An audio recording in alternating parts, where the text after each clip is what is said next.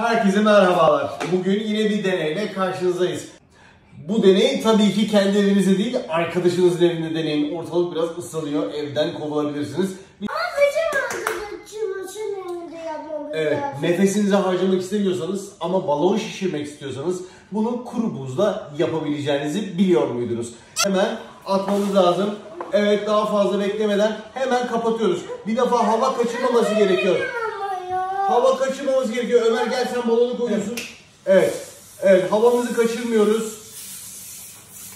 Havamızı kaçırmıyoruz. Rana bardağı tutuyor aşağıdan hava kaçırmayacak şekilde. Ama bırak baba. Aa patlayacak mı? Patlar mı? Patlamadan aldım o zaman. Bir dakika, bir dakika. Evet, bir dakika. Gelin böyle. Gelin böyle. O zaman şişirdiğimiz balonu ne yapacağız?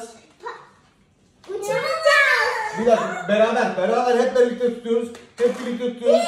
Bir, iki, herkes bırakıyor. Bırakıyoruz.